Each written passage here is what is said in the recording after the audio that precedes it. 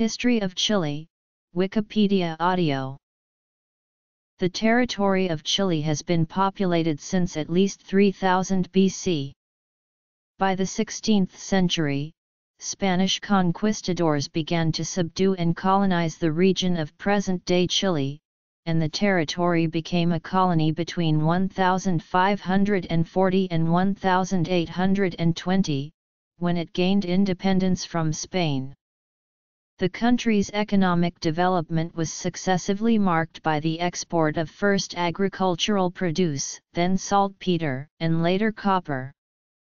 The wealth of raw materials led to an economic upturn, but also led to dependency, and even wars with neighboring states. Chile was governed during most of its first 150 years of independence by different forms of restricted government, where the electorate was carefully vetted and controlled by an elite.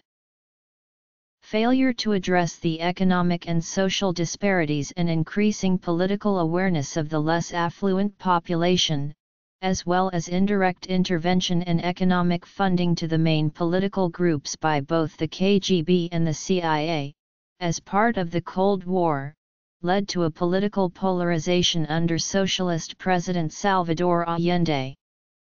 This in turn resulted in the September 11, 1973 coup d'état and the military dictatorship of General Augusto Pinochet, whose subsequent 17-year regime was responsible for numerous human rights violations and deep market-oriented economic reforms. In 1990, Chile made a peaceful transition to democracy. About 10,000 years ago, migrating Native Americans settled in the fertile valleys and coastal areas of what is present-day Chile. Pre-Hispanic Chile was home to over a dozen different Amerindian societies.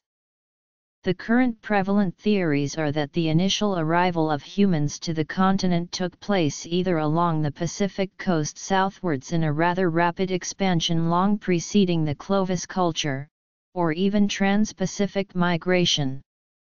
These theories are backed by findings in the Monte Verde archaeological site, which predates the Clovis site by thousands of years. Specific early human settlement sites from the very early human habitation in Chile include the Cueva del Milodón and the Pali Aike crater S lava tube. Early history Despite such diversity, it is possible to classify the indigenous people into three major cultural groups, the northern people, who developed rich handicrafts and were influenced by pre-Incan cultures, the Araucanian culture, who inhabited the area between the river Copiapó and the island of Chiloé, and lived primarily off agriculture, and the Patagonian culture composed of various nomadic tribes, who supported themselves through fishing and hunting.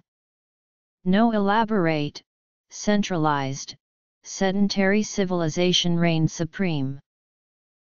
The Araucanians, a fragmented society of hunters, gatherers, and farmers, constituted the largest Native American group in Chile. A mobile people who engaged in trade and warfare with other indigenous groups, they lived in scattered family clusters and small villages.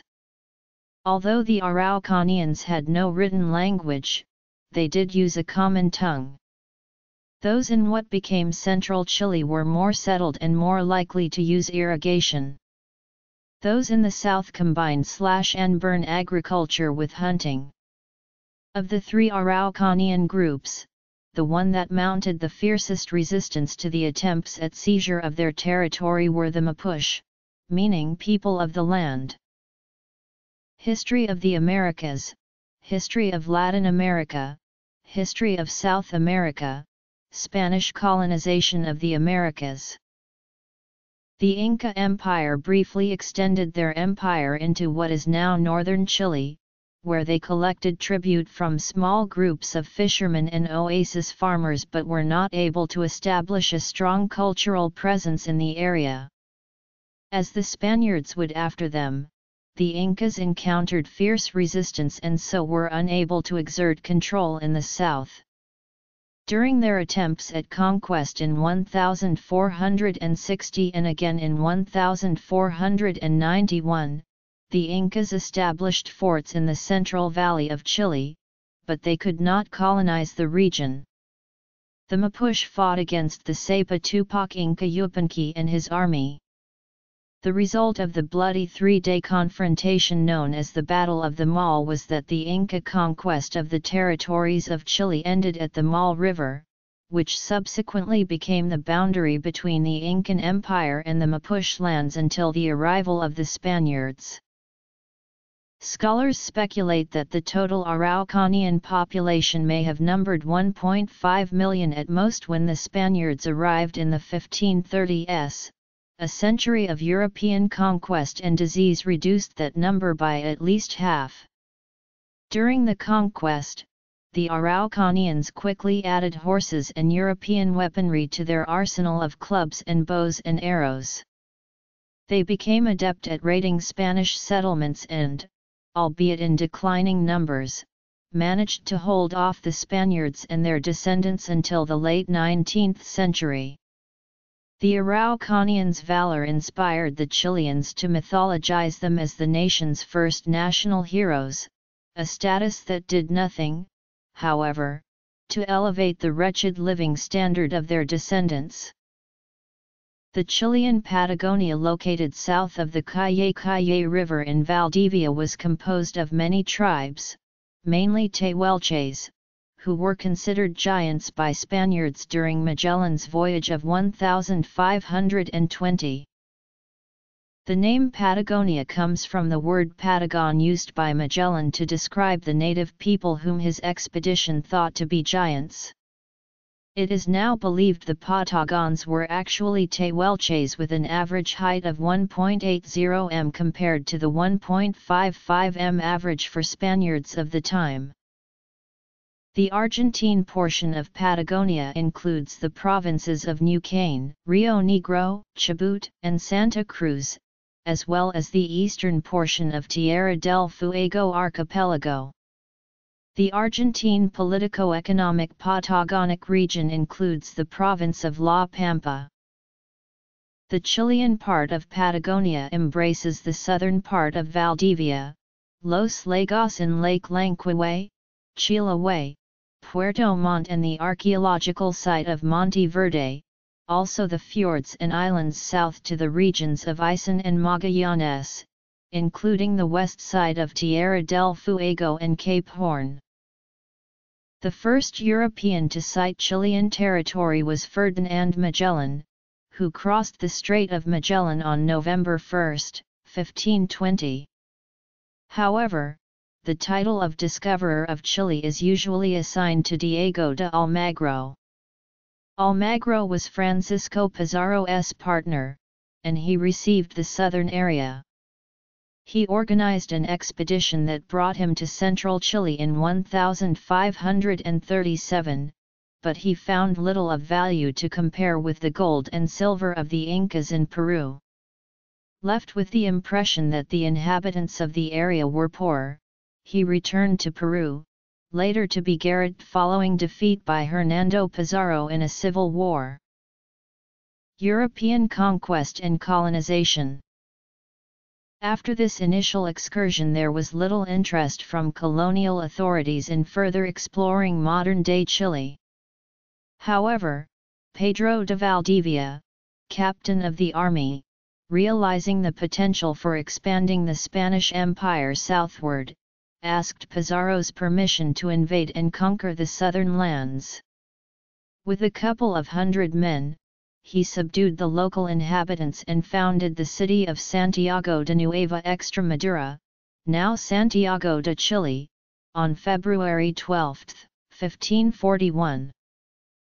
Although Valdivia found little gold in Chile he could see the agricultural richness of the land. He continued his explorations of the region west of the Andes and founded over a dozen towns and established the first encomiendas. The greatest resistance to Spanish rule came from the Mapuche people, who opposed European conquest and colonization until the 1880s, this resistance is known as the Arauco War.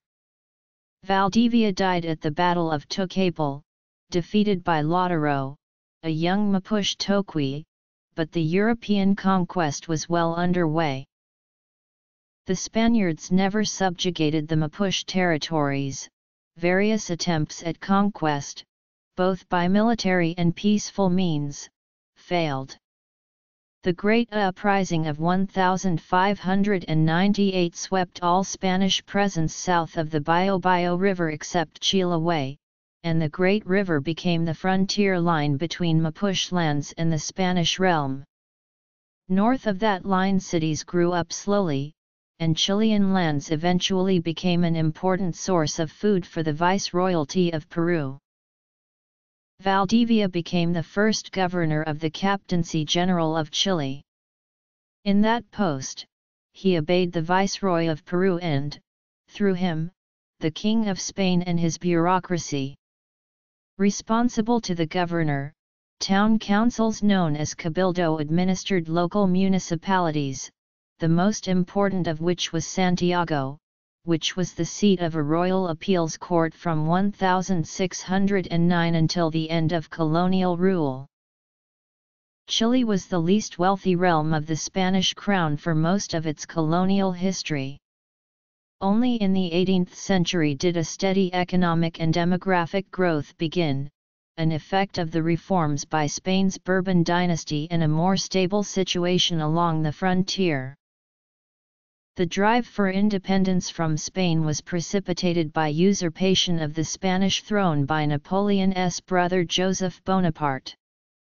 The Chilean War of Independence was part of the larger Spanish-American independence movement, and it was far from having unanimous support among Chileans, who became divided between independentists and royalists. What started as an elitist political movement against their colonial master, finally ended as a full-fledged civil war between pro-independence criollos who sought political and economic independence from Spain and royalist criollos, who supported the continued allegiance to and permanence within the Spanish Empire of the Captaincy General of Chile. The struggle for independence was a war within the upper class, although the majority of troops on both sides consisted of conscripted mestizos and Native Americans. The beginning of the independence movement is traditionally dated as September 18, 1810 when a national junta was established to govern Chile in the name of the deposed King Ferdinand VII. Depending on what terms one uses to define the end, the movement extended until 1821 or 1826. The independence process is normally divided into three stages, Patria Vieja, Reconquista, and Patria Nueva. Independence Republican era Chile's first experiment with self-government, the Patria Vieja, was led by José Miguel Carrera, an aristocrat then in his mid-twenties. The military-educated Carrera was a heavy-handed ruler who aroused widespread opposition. Another of the earliest advocates of full independence, Bernardo O'Higgins, captained a rival faction that plunged the Criollos into civil war. For him and for certain other members of the Chilean elite, the initiative for temporary self-rule quickly escalated into a campaign for permanent independence, although other Criollos remained loyal to Spain. Constitutional Organization Conservative era Liberal era Parliamentary era Presidential era Among those favoring independence, conservatives fought with liberals over the degree to which French revolutionary ideas would be incorporated into the movement. After several efforts, Spanish troops from Peru took advantage of the internecine strife to reconquer Chile in 1814, when they reasserted control by winning the Battle of Rancagua on October 12. O'Higgins, Carrera, and many of the Chilean rebels escaped to Argentina. The second period was characterized by the Spanish attempts to reimpose arbitrary rule during the period known as the Reconquista of 1814-1817. During this period, the harsh rule of the Spanish loyalists, who punished suspected rebels, drove more and more Chileans into the insurrectionary camp. More members of the Chilean elite were becoming convinced of the necessity of full independence, regardless of who sat on the throne of Spain.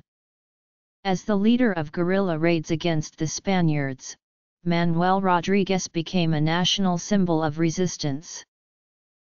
In exile in Argentina, O'Higgins joined forces with José de San Martin. Their combined army freed Chile with a daring assault over the Andes in 1817, defeating the Spaniards at the Battle of Chacabuco on February 12 and marking the beginning of the Patria Nueva.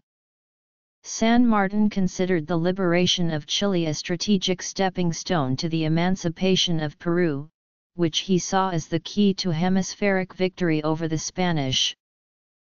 Popular Unity Years Chile won its formal independence when San Martin defeated the last large Spanish force on Chilean soil at the Battle of Maipú on April 5, 1818. San Martin then led his Argentine and Chilean followers north to liberate Peru, and fighting continued in Chile's southern provinces, the bastion of the Royalists, until 1826.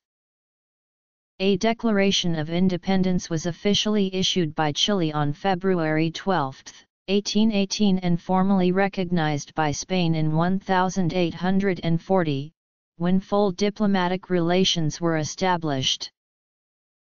From 1817 to 1823, Bernardo O'Higgins ruled Chile as Supreme Director. He won plaudits for defeating royalists and founding schools, but civil strife continued. O'Higgins alienated liberals and provincials with his authoritarianism, conservatives and the church with his anti-clericalism, and landowners with his proposed reforms of the land tenure system. His attempt to devise a constitution in 1818 that would legitimize his government failed, as did his effort to generate stable funding for the new administration.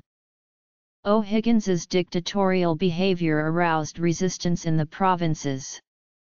This growing discontent was reflected in the continuing opposition of partisans of Carrera, who was executed by the Argentine regime in Mendoza in 1821, like his two brothers were three years earlier. Although opposed by many liberals, O'Higgins angered the Roman Catholic Church with his liberal beliefs. He maintained Catholicism's status as the official state religion but tried to curb the Church's political powers and to encourage religious tolerance as a means of attracting Protestant immigrants and traders. Like the Church, the landed aristocracy felt threatened by O'Higgins, resenting his attempts to eliminate noble titles and, more important, to eliminate entailed estates. O'Higgins's opponents also disapproved of his diversion of Chilean resources to aid San Martin's liberation of Peru. O'Higgins insisted on supporting that campaign because he realized that Chilean independence would not be secure until the Spaniards were rooted from the Andean core of the empire. However, amid mounting discontent, troops from the northern and southern provinces forced O'Higgins to resign.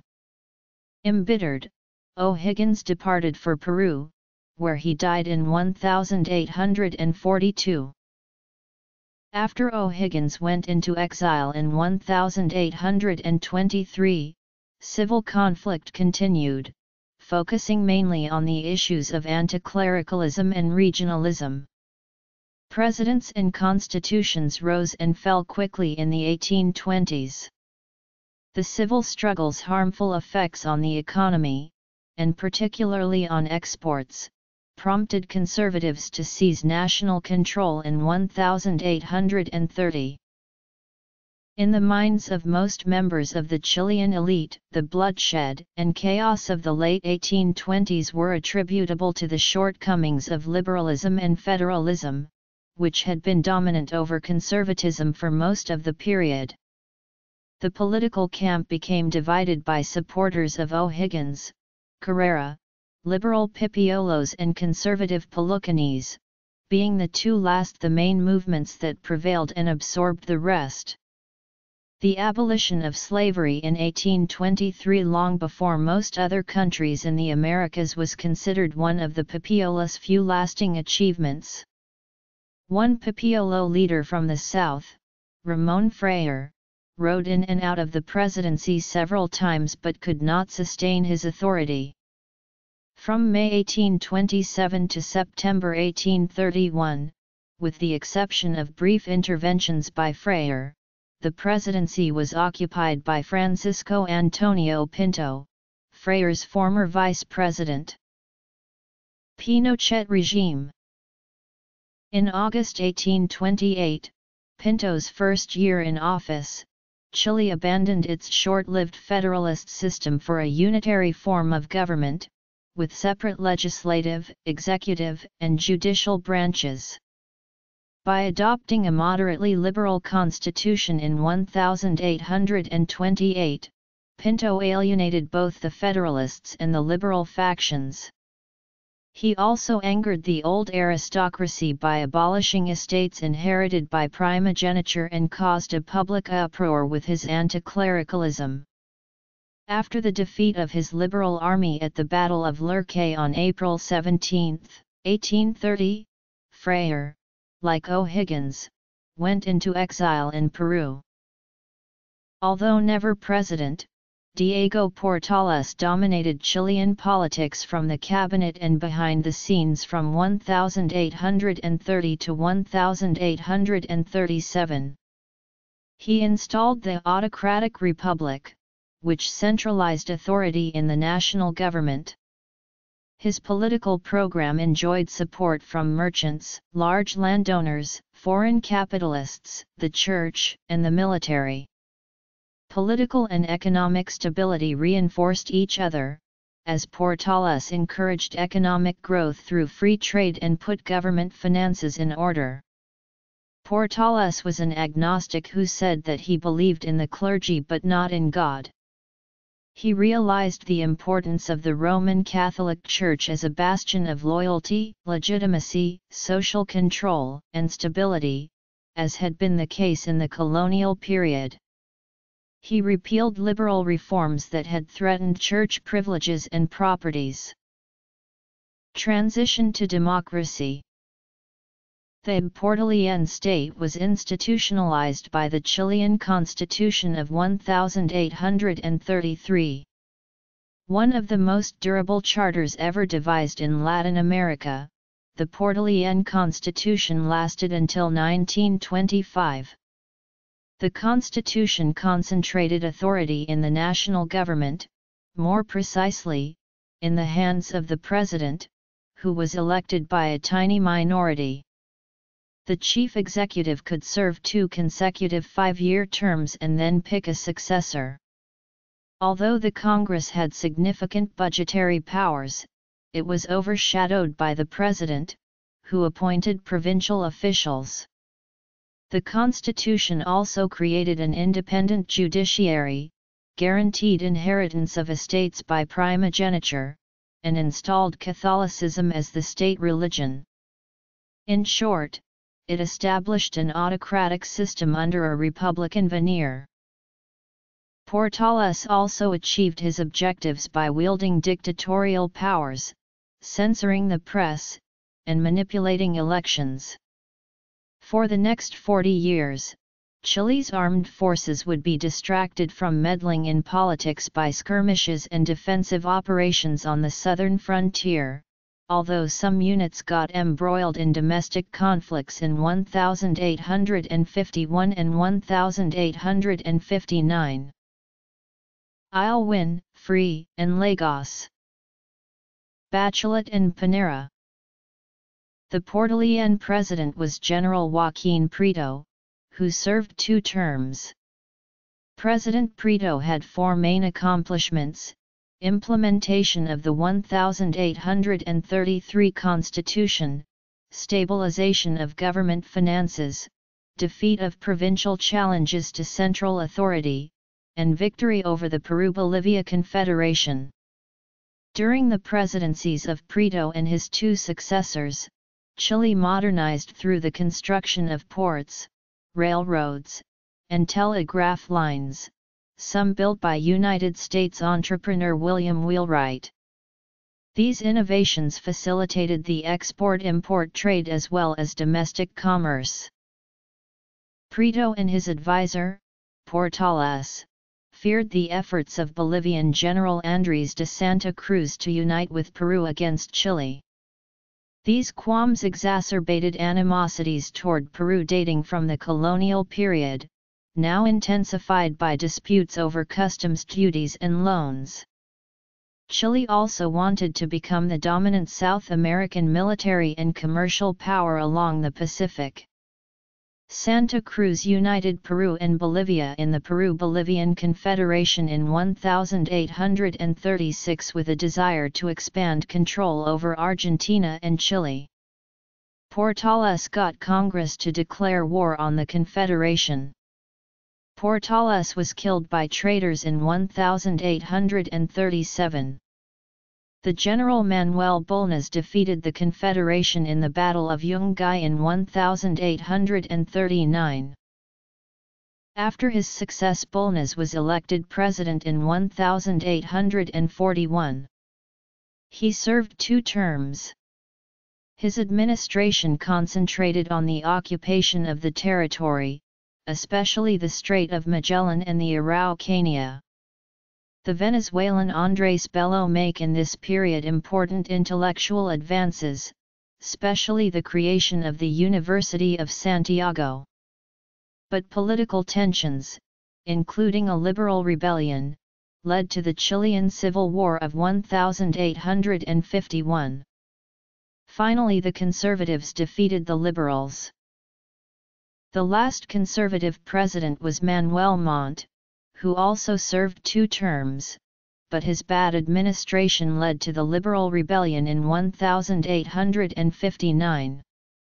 Liberals triumphed in 1861 with the election of José Joaquín Pérez as president.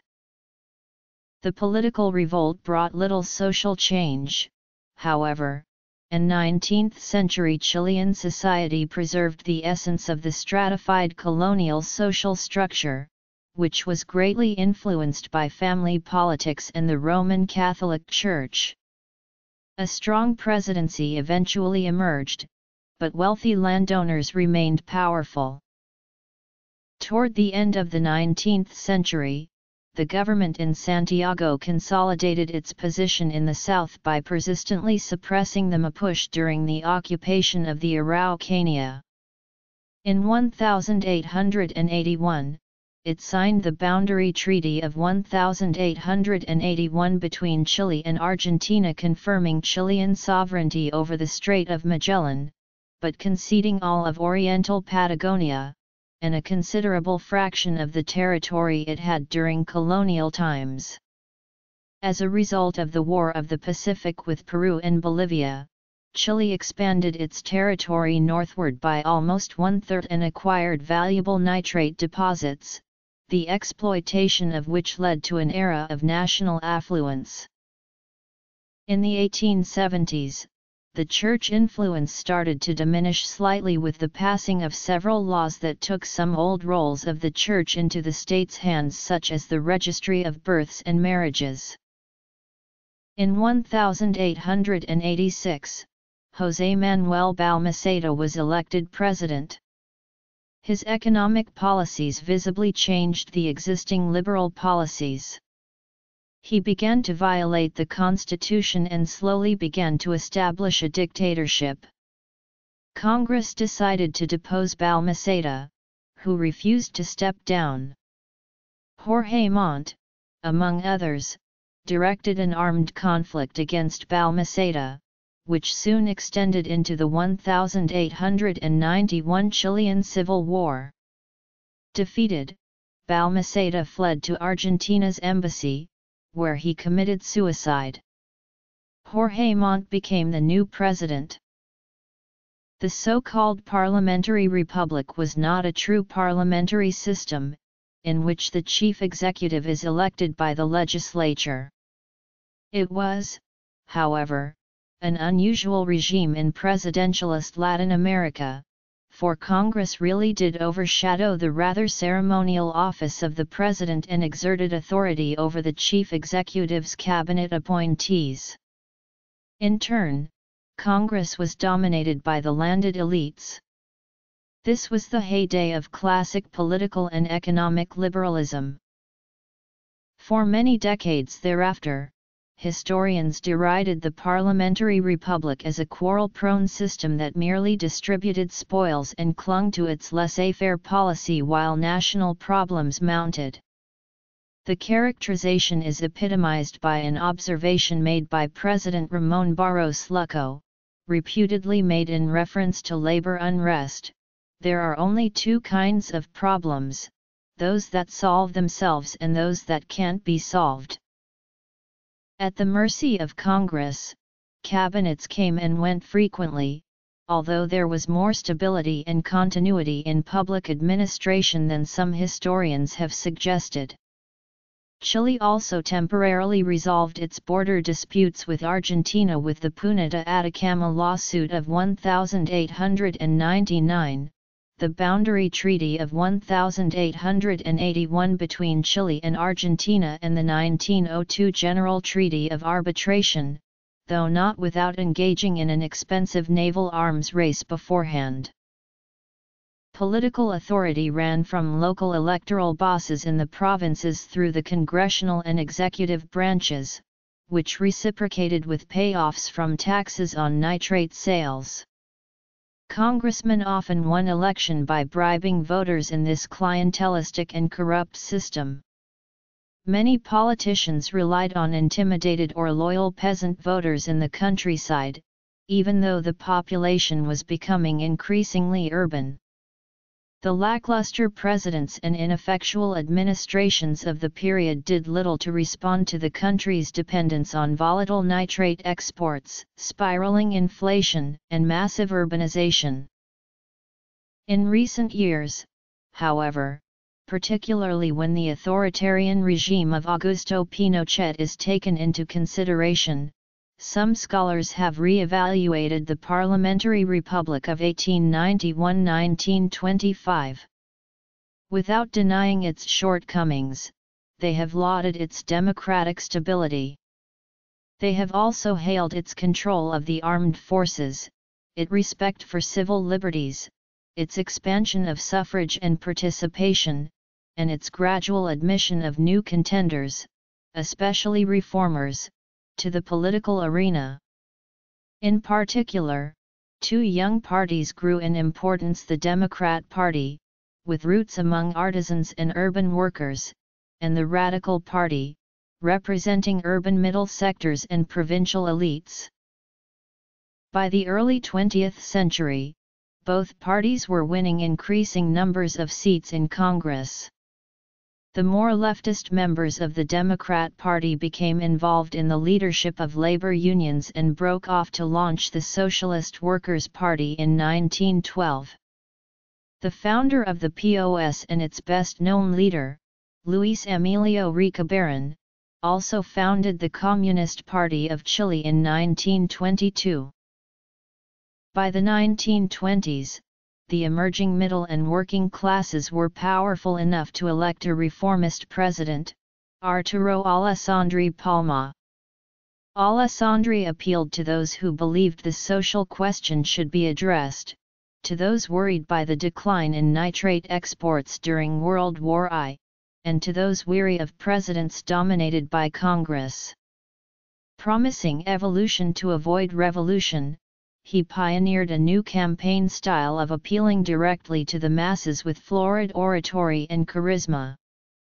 After winning a seat in the Senate representing the mining North in 1915, he earned the sobriquet Lion of Tarapacá.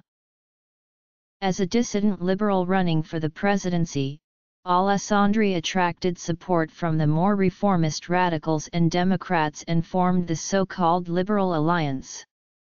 He received strong backing from the middle and working classes as well as from the provincial elites. Students and intellectuals also rallied to his banner. At the same time, he reassured the landowners that social reforms would be limited to the cities. Alessandri soon discovered that his efforts to lead would be blocked by the Conservative Congress. Like Balmaceda, he infuriated the legislators by going over their heads to appeal to the voters in the congressional elections of 1924. His reform legislation was finally rammed through Congress under pressure from younger military officers, who were sick of the neglect of the armed forces, political infighting, social unrest, and galloping inflation, whose program was frustrated by a conservative Congress. A double military coup set off a period of great political instability that lasted until 1932. First military right-wingers opposing Alessandri seized power in September 1924, and then reformers in favor of the ousted president took charge in January 1925. The Sabre Noise incident of September 1924, provoked by discontent of young officers, mostly lieutenants from middle and working classes, lead to the establishment of the September junta led by General Luis Altamirano and the exile of Alessandri. However, fears of a conservative restoration in progressive sectors of the army led to another coup in January, which ended with the establishment of the January junta as interim government while waiting for Alessandri's return. The latter group was led by two colonels, Carlos Ibanez del Campo and Marmaduke Grove. They returned Alessandri to the presidency that March and enacted his promised reforms by decree. The latter reassumed power in March, and a new constitution encapsulating his proposed reforms was ratified in a plebiscite in September 1925 the new constitution gave increased powers to the presidency. Alessandri broke with the classical liberalism's policies of laissez-faire by creating a central bank and imposing a revenue tax. However, social discontents were also crushed, leading to the Marusia massacre in March 1925 followed by the La Coruña massacre. The longest lasting of the ten governments between 1924 and 1932 was that of General Carlos Ibanez, who briefly held power in 1925 and then again between 1927 and 1931 in what was a de facto dictatorship. When constitutional rule was restored in 1932, a strong middle-class party, the Radicals, emerged. It became the key force in coalition governments for the next 20 years. The Seguro Obrero massacre took place on September 5, 1938, in the midst of a heated three-way election campaign between the ultra-conservative Gustavo Ross Santa Maria, the radical Popular Front's Pedro Aguirre Cerda, and the newly formed Popular Alliance candidate, Carlos Ibanez del Campo. The National Socialist Movement of Chile supported Ibanez's candidacy, which had been announced on September 4. In order to preempt Ross's victory, the National Socialists mounted a coup d'état that was intended to take down the right-wing government of Arturo Alessandri Palma and place Ibanez in power. During the period of radical party dominance, the state increased its role in the economy. In 1952, voters returned Ibanez to office for another six years. Jorge Alessandri succeeded Ibanez in 1958. The 1964 presidential election of Christian Democrat Eduardo Frei Montalva by an absolute majority initiated a period of major reform. Under the slogan Revolution in Liberty, the Frei administration embarked on far-reaching social and economic programs, particularly in education, housing, and agrarian reform, including rural unionization of agricultural workers. By 1967, however, Frei encountered increasing opposition from leftists, who charged that his reforms were inadequate, and from conservatives, who found them excessive. At the end of his term, Frei had accomplished many noteworthy objectives, but he had not fully achieved his party's ambitious goals. In the 1970 presidential election, Senator Salvador Allende Gossens won a plurality of votes in a three-way contest. He was a Marxist physician and member of Chile's Socialist Party, who headed the Popular Unity coalition of the Socialist, Communist, Radical, and Social Democratic parties, along with dissident Christian Democrats, the Popular Unitary Action Movement, and the Independent Popular Action. Allende had two main competitors in the election Radomiro Tomic, representing the incumbent Christian Democratic Party, who ran a left-wing campaign with much the same theme as Allende's, and the right-wing former President Jorge Alessandri. In the end, Allende received a plurality of the votes cast, getting 36% of the vote against Alessandri's 35% and Tomic's 28%. Despite pressure from the government of the United States, the Chilean Congress, keeping with tradition, conducted a runoff vote between the leading candidates, Allende and former President Jorge Alessandri. This procedure had previously been a near formality, yet became quite fraught in 1970. After assurances of legality on Allende's part, the murder of the army commander-in-chief, General René Schneider and Frei's refusal to form an alliance with Alessandri to oppose Allende on the grounds that the Christian Democrats were a workers' party and could not make common cause with the oligarchs Allende was chosen by a vote of 153 to 35.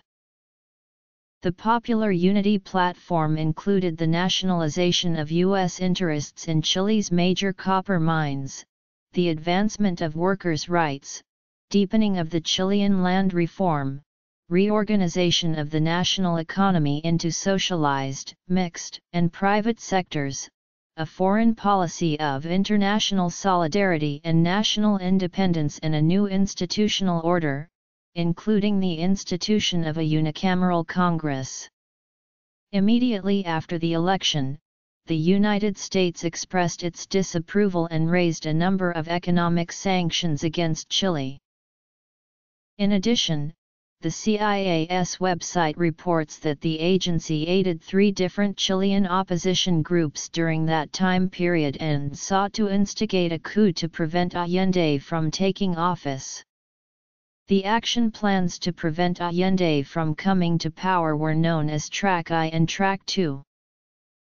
In the first year of Allende's term, the short-term economic results of Economics Minister Pedro Vuskovic's expansive monetary policy were unambiguously favorable, 12% industrial growth and an 8.6% increase in GDP, accompanied by major declines in inflation and unemployment. Allende adopted measures including price freezes, wage increases, and tax reforms, which had the effect of increasing consumer spending and redistributing income downward. Joint public-private public works projects helped reduce unemployment. Much of the banking sector was nationalized. Many enterprises within the copper, coal, iron, nitrate, and steel industries were expropriated, nationalized, or subjected to state intervention. Industrial output increased sharply and unemployment fell during the administration's first year. However, these results were not sustainable and in 1972 the Chilean escudo had runaway inflation of 140%. An economic depression that had begun in 1967 peaked in 1972, exacerbated by capital flight, plummeting private investment, and withdrawal of bank deposits in response to Allende's socialist program. Production fell and unemployment rose. The combination of inflation and government-mandated price fixing led to the rise of black markets in rice, beans, sugar, and flour, and a disappearance of such basic commodities from supermarket shelves. Recognizing that U.S. intelligence forces were trying to destabilize his presidency through a variety of methods, the KGB offered financial assistance to the first democratically elected Marxist president. However, the reason behind the U.S. covert actions against Allende concerned not the spread of Marxism but fear over losing control of its investments. By 1968, 20% of total U.S. foreign investment was tied up in Latin America. Mining companies had invested $1 billion over the previous 50 years in Chile's copper mining industry, the largest in the world, but they had sent $7.2 billion home. Part of the CIA's program involved a propaganda campaign that portrayed Allende as a would be Soviet dictator. In fact, however, the U.S.'s own intelligence reports showed that Allende posed no threat to democracy. Nevertheless, the Richard Nixon administration organized and inserted secret operatives in Chile, in order to quickly destabilize Allende's government. In addition, Nixon gave instructions to make the Chilean economy scream, and international financial pressure restricted economic credit to Chile. Simultaneously, the CIA funded opposition media, politicians, and organizations, helping to accelerate a campaign of domestic destabilization. By 1972, the economic progress of Allende's first year had been reversed, and the economy was in crisis. Political polarization increased, and large mobilizations of both pro and anti-government groups became frequent, often leading to clashes. By 1973, Chilean society had grown highly polarized, between strong opponents and equally strong supporters of Salvador Allende and his government. Military actions and movements, separate from the civilian authority, began to manifest in the countryside. The Tanquetazo was a failed military coup d'état attempted against Allende in June 1973. In its agreement, on August 22, 1973, the Chamber of Deputies of Chile asserted that Chilean democracy had broken down and called for redirecting government activity, to restore constitutional rule. Less than a month later, on September 11, 1973, the Chilean military deposed Allende, who shot himself in the head to avoid capture as the presidential palace was surrounded and bombed.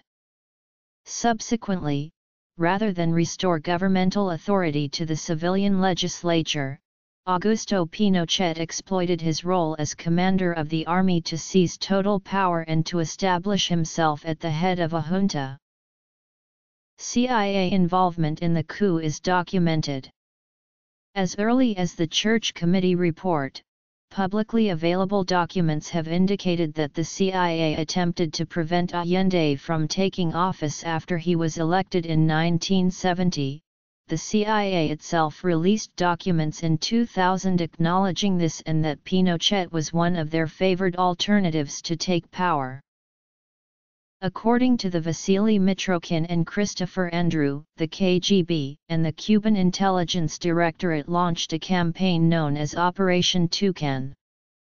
For instance, in 1976, the New York Times published 66 articles on alleged human rights abuses in Chile and only four on Cambodia, where the communist Khmer Rouge killed some 1.5 million people of 7.5 million people in the country.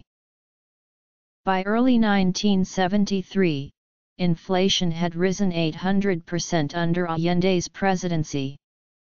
The crippled economy was further battered by prolonged and sometimes simultaneous strikes by physicians, teachers, students, truck owners, copper workers, and the small business class. A military coup overthrew Allende on September 11, 1973. As the armed forces bombarded the presidential palace, Allende committed suicide.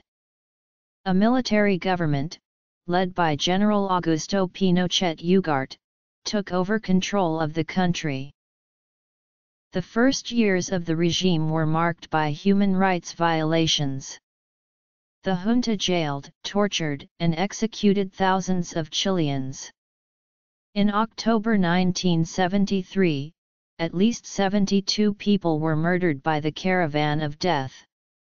At least a thousand people were executed during the first six months of Pinochet in office, and at least 2,000 more were killed during the next 16 years, as reported by the Rettig report. At least 29,000 were imprisoned and tortured. According to the Latin American Institute on Mental Health and Human Rights, situations of extreme trauma affected about 200,000 persons, this figure includes individuals killed, tortured, or exiled, and their immediate families. About 30,000 left the country. The four-man junta headed by General Augusto Pinochet abolished civil liberties, dissolved the National Congress, banned union activities, prohibited strikes and collective bargaining, and erased the Allende administration's agrarian and economic reforms. The junta embarked on a radical program of liberalization, deregulation, and privatization, slashing tariffs as well as government welfare programs and deficits. Economic reforms were drafted by a group of technocrats who became known as the Chicago Boys because many of them had been trained or influenced by University of Chicago professors. Under these new policies, the rate of inflation dropped. A new constitution was approved by plebiscite characterized by the absence of registration lists, on September 11, 1980, and General Pinochet became President of the Republic for an eight-year term. In 1982–1983 Chile witnessed a severe economic crisis with a surge in unemployment and a meltdown of the financial sector. 16 out of 50 financial institutions faced bankruptcy. In 1982 the two biggest banks were nationalized to prevent an even worse credit crunch. In 1983 another five banks were nationalized and two banks had to be put under government supervision. The central bank took over foreign debts. Critics ridiculed the economic policy of the Chicago Boys as Chicago way to socialism. After the economic crisis, Hernan Büchi became Minister of Finance from 1985 to 1989, introducing a more pragmatic economic policy. He allowed the peso to float and reinstated restrictions on the movement of capital in and out of the country. He introduced bank regulations, simplified and reduced the corporate tax. Chile went ahead with privatizations, including public utilities plus the reprivatization of companies that had returned to the government during the 1982–1983 crisis. From 1984 to 1990, Chile's gross domestic product grew by an annual average of 5.9%, the fastest on the continent. Chile developed a good export economy, including the export of fruits and vegetables to the Northern Hemisphere when they were out of season, and commanded high prices. The military junta began to change during the late 1970s. Due to problems with Pinochet, Leigh was expelled from the junta in 1978 and replaced by General Fernando Matthei. In the late 1980s, the government gradually permitted greater freedom of assembly, speech, and association, to include trade union and political activity. Due to the Caso Degollados, in which three Communist Party members were assassinated, Cesar Mendoza, member of the junta since 1973 and representants of the Carabineros, resigned in 1985 and was replaced by Rodolfo Stange. The next year, Carmen Gloria Quintana was burnt alive in what became known as the Caso Quemado. Chile's constitution established that in 1988 there would be another plebiscite in which the voters would accept or reject a single candidate proposed by the military junta. Pinochet was, as expected, the candidate proposed, but was denied a second eight-year term by 54.5% of the vote. In English, Chileans elected a new president and the majority of members of a two-chamber Congress on December 14, 1989. Christian Democrat Patricio Aylwin, the candidate of a coalition of 17 political parties called the Concertation, received an absolute majority of votes. President Aylwin served from 1990 to 1994, in what was considered a transition period. In February 1991 Aylwin created the National Commission for Truth and Reconciliation, which released in February 1991 the Rettig Report on human rights violations committed during the military rule.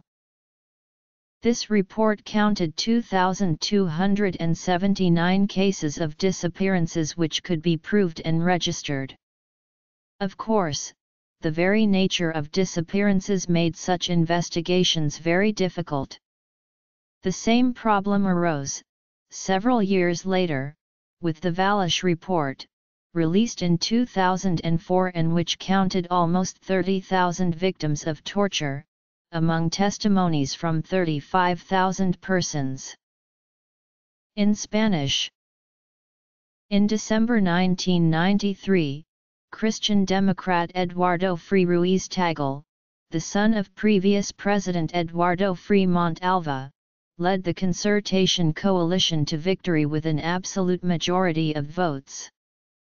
Frei Ruiz Tagle was succeeded in 2000 by socialist Ricardo Lagos, who won the presidency in an unprecedented runoff election against Joaquin Lavín of the Rightist Alliance for Chile, by a very tight score of less than 200,000 votes.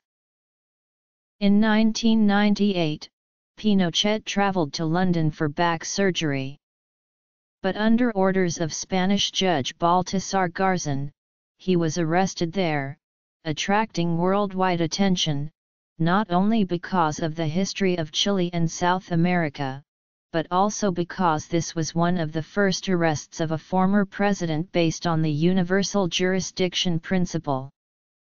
Pinochet tried to defend himself by referring to the State Immunity Act of 1978, an argument rejected by the British Justice. However, UK Home Secretary Jack Straw took the responsibility to release him on medical grounds, and refused to extradite him to Spain. Thereafter, Pinochet returned to Chile in March 2000. Upon descending the plane on his wheelchair, he stood up and saluted the cheering crowd of supporters, including an army band playing his favorite military march tunes, which was awaiting him at the airport in Santiago. President Ricardo Lagos later commented that the retired general's televised arrival had damaged the image of Chile, while thousands demonstrated against him. The Concertation coalition has continued to dominate Chilean politics for last two decades. In January 2006 Chileans elected their first woman president, Michelle Bachelet, of the Socialist Party. She was sworn in on March 11, 2006, extending the concertation coalition governance for another four years.